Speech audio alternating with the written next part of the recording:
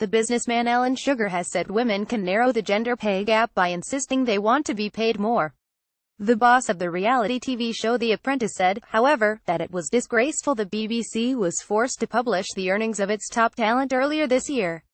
The corporation has been under pressure after its annual review revealed top TV presenters were paid more than £150,000 a year, and that four-thirds of those stars were male.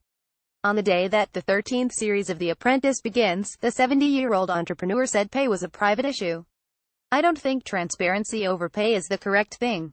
It's a private issue and I think it's disgraceful, actually, that the BBC were forced to publish what people were earning, Lord Sugar said.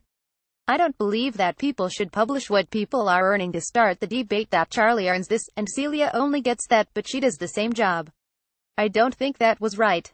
When asked if he sees the pay gap narrowing in future, Sugar said it can be narrowed by the lady herself saying, no, I want more money. Right, you want me to do that, I want more money. Her agent should come along and say, hold on, I know how much Charlie's being paid and I want more for my lady to do it. If the BBC or ITV or Channel 4 or Channel 5 say nah, not really, then, tough. She'll have to decide what she wants to be paid. Karren Brady and Claude Littner will join Sugar in his search for a new business partner as The Apprentice returns with a batch of 18 new contestants. Discussing the appeal of the show, Sugar said there's an underlying business message in there which has really inspired youngsters from the age of 13 upwards.